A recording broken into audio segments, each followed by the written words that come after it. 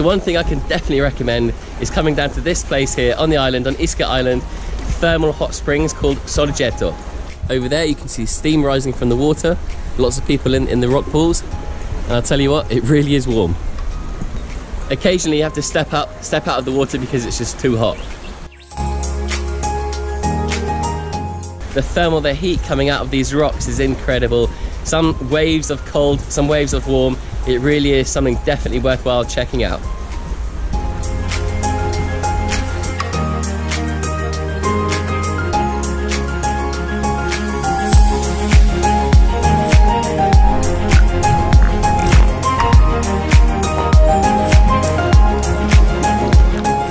So if you didn't already know, this is a volcanic island. That's why there's thermal springs. And if you look over behind my head, you see volcanic rocks all over the place.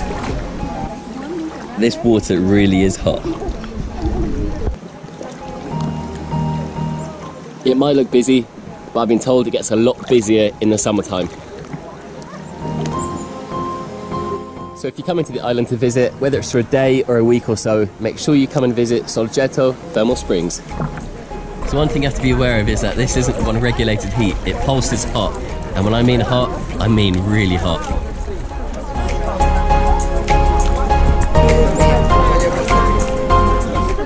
Just be aware of how sharp the rocks can be. If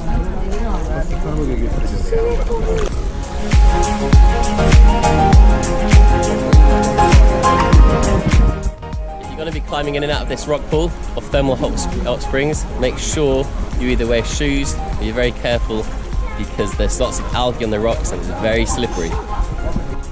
Someone's even cooking potatoes and eggs in this little rock pool right here.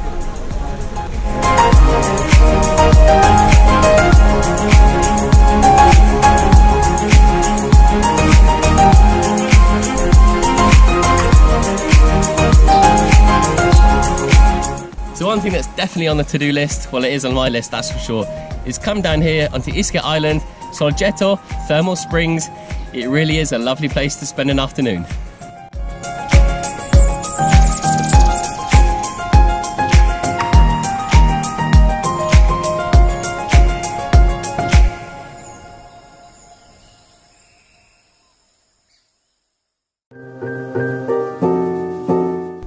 Another place I can highly recommend checking out on Ischia Island is Faro Citara Lighthouse.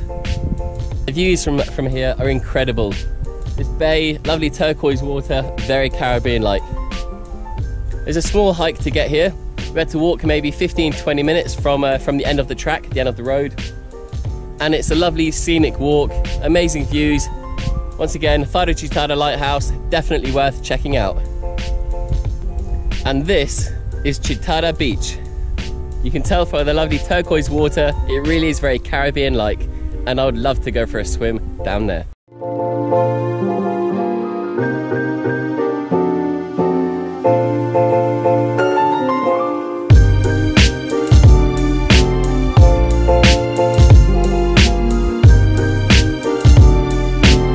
Situated on the south side of the island, you can almost, well, on a clear day you can, I've been told, you can see Naples right over there in the distance.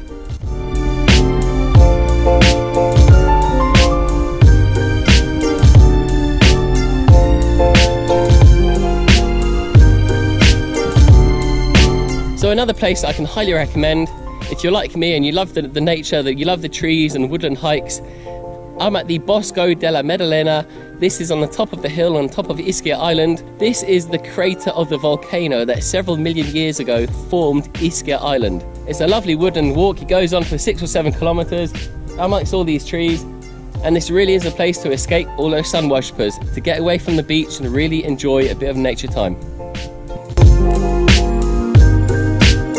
Bosco della Maddalena represents the largest forest on the island approximately 450,000 square meters worth. There's pines, there's oak trees, there's ferns, as well as chestnuts as well. This really is a great place to get away to go for an afternoon, evening, or even a morning hike. The walk itself takes around four and a half hours to complete. When you arrive on the island, go to the tourist office and ask them for a detailed map, and it'll show you the exact route going around this crater. The beginning of the walk itself is quite steep, but after 10 or so minutes, you reach the top and it's pretty much evens out to a nice, fair, level walking ground. One thing you're guaranteed, even on a hot day, is plenty of shade to keep you cool during the hot weather.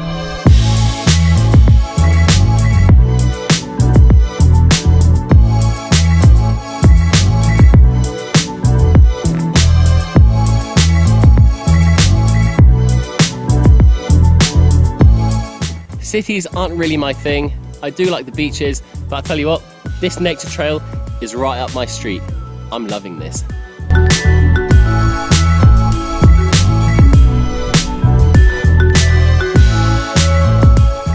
So what we have here is one of several fumaroles and hot springs situated on the island. The hot gas is coming out of the ground as I put my hand nearer the hole. I really can feel a lot of heat. This is one of several of nature's wonders on the island.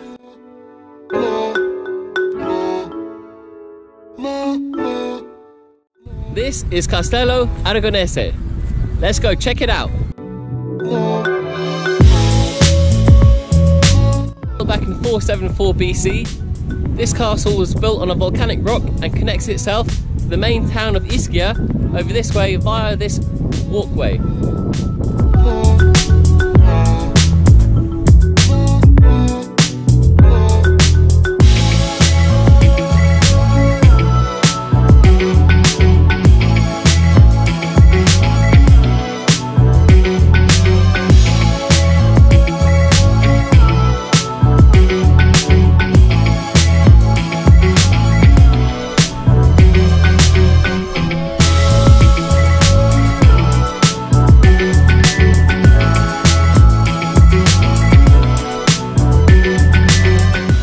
Only been here a few minutes and already this place is really impressive. I've seen some old clay pipes and some pottery and even some cannonballs. Tell you what, there's a great view from up here.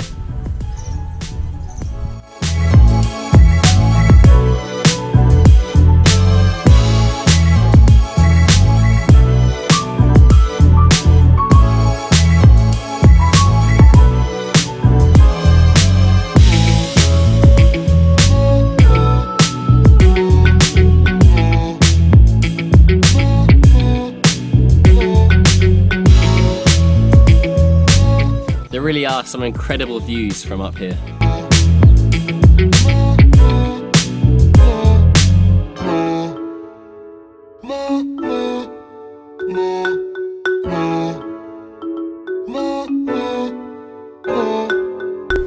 Give it a few more months and these figs should be ready to eat.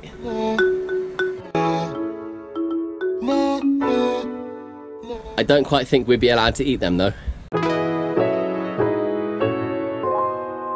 That is a big fennel.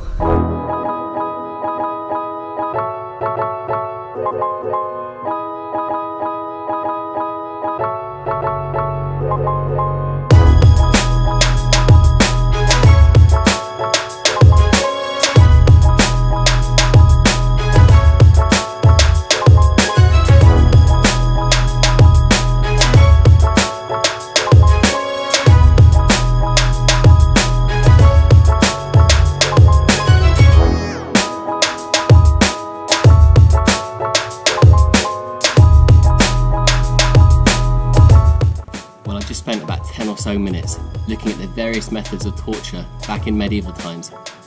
Tell you what, I truly am shocked from that. Those methods of torture must have been extremely painful. I really can't get over what I just saw in that museum of torture. Wow.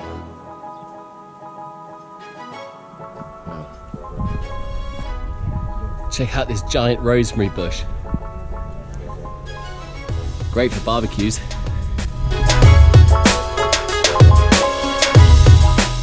Looks like the lemons are ready to be picked.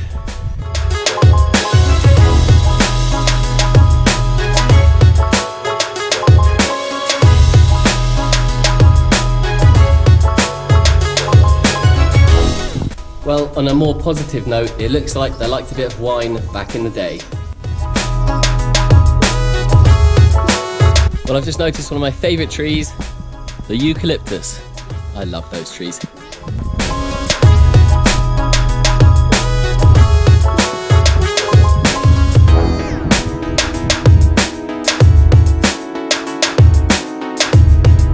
And from here, you can see the neighboring island of Procida. And in the distance over there, there's the active volcano of Vesuvio.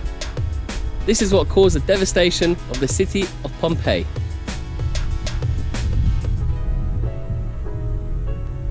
Up behind me, you can see the remains of the ancient defense tower. Somewhere up there lies the remains of a furnace which was used to make the cannonballs red hot. Wow.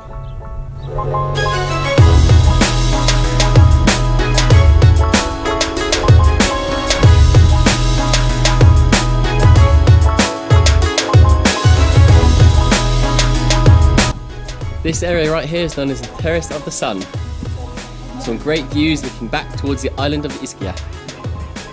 And down here you can see the road that connects this castle, the island that is on, over to Ischia Island.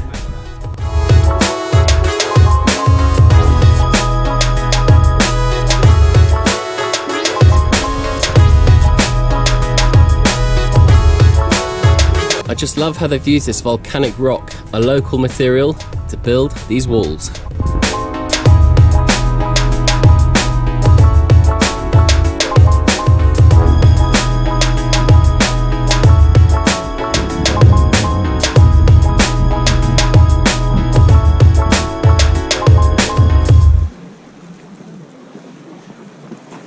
Was a great way to spend a few hours. I would give that an 8 out of 10. Some great history, and I'm still in shock over those methods of torture they used back in the day. But on the positive side, at least they liked a glass of wine.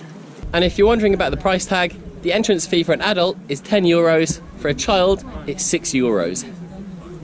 The next place I can highly recommend visiting is this island called Sant'Angelo.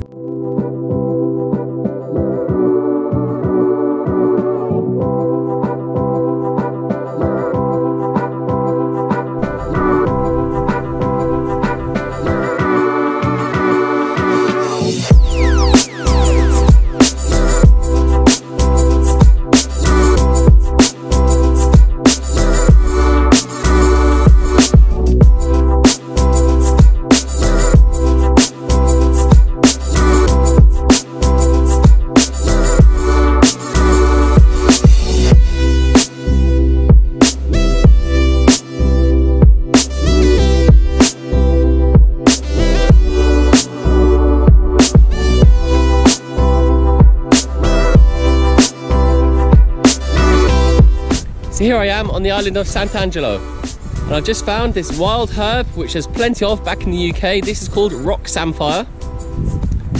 If you crush it, it smells like carrots and yes, in fact, believe it or not, this is a wild edible plant. So this place looks great for fishing and believe it or not, I've got a fishing rod and a bit of bread in my bag.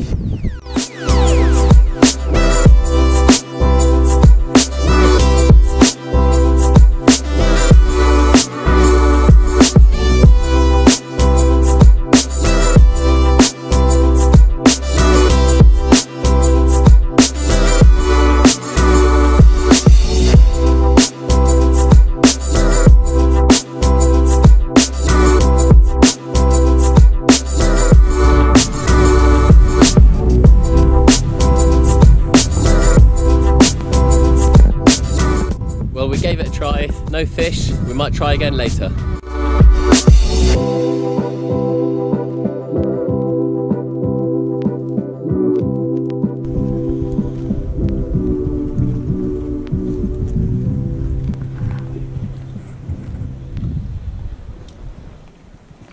Oh, hey!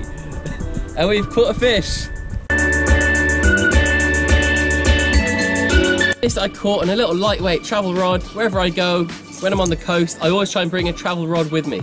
And here we are. Here's our first fish. Let's put it back.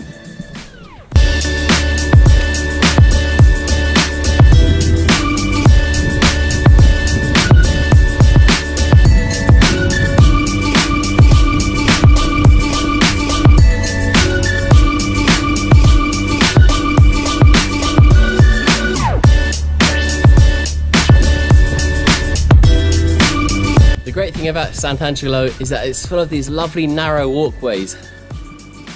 Really characteristic for an Italian island.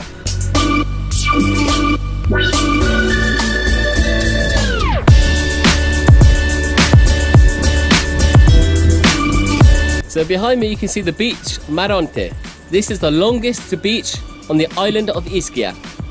And over there in the distance is the island of Capri. So we're now on our way to another one of the fumaroles situated on the island. Here we have it, one of the fumaroles. This is the natural hot gases being released from the earth. You can smell there's a bit of sulfur in the, in the air. And I'm sure if you put your hand near to the entrance of that funnel, it'll be quite hot.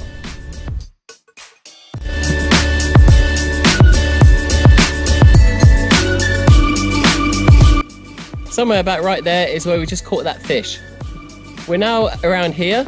We're then going to walk all the way along this beach over to Maronte. Maronte makes up the majority of this long beach, the longest beach on the island of Ischia.